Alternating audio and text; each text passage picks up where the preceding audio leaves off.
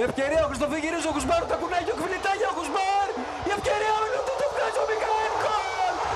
Ο Κβιλιτάγια στο 110 στέλνει την μπάλα τα δίχτυα της πρόκρισης στην αστεία του Ολυμπιακού και κάνει το 2-1 σε αυτή την απίστευτη φάση.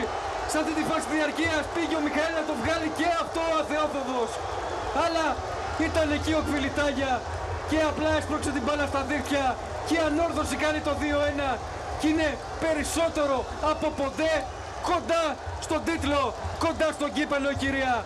Κοιτάξτε τι γίνεται, κοιτάξτε τι γίνεται, όλοι έχουν μπει μέσα πάνω στο κβιλιτά για να ξαναδούμε τη φάση, αυτή την απίθανη φάση.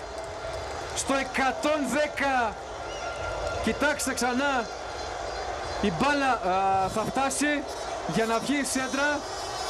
Το τακουνάκι του Χουσμπάουερ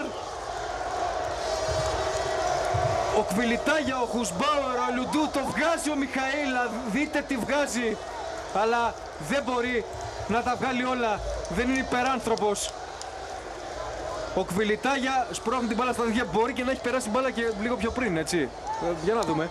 Και δεν ξέρω αν θα χρειαστεί Νομίζω αν, δεν, αν, η και φάση, VAR. α, ναι, αν η φάση δεν είναι offside, Ε, Να δούμε αν είναι offside καταρχήν, αυτό ε, ξεκινάμε. η μπάλα ήταν μέσα στο σουτ του Ελουντού. Είναι μέσα στο σου του Λουντού, δεν ξέρουμε αν υπάρχει πριν offside. Ναι, ναι, αν αυτό, αυτό είναι που θα το ελέγξουν τώρα. Τώρα θα ελεγχθεί, ε, Μάρκο Γρονέλη τι λες, μιλάει με το VAR ο... Μιλάει με το VAR ο Χατσεγκάν. διαιτητής, ναι, περιμένει να δει τι θα του υποθεί από το VAR. Βλέπετε, ακόμη δεν έχει ε, σφυρίξει την ε, σέντρα. Είναι και η πρώτη Είναι ε, δύο προσπάθεια. φάσεις. Δύο φάσεις. Δύο είναι που φάσεις, ναι, πρέπει αν, να αν, ελεγχθούν. αν πρέπει να ελεγχθεί για το offside. Και πρώτο το δακουνάκι του Χουσμπάουερ όταν φεύγει η μπάλα ναι, και ναι. μετά τον την ξαναγυρίζει ο Χουσμπάουερ μέσα στην ε, περιοχή της, ε, του Ολυμπιακού. Ο Χατσεγκάν συνομιλεί με τον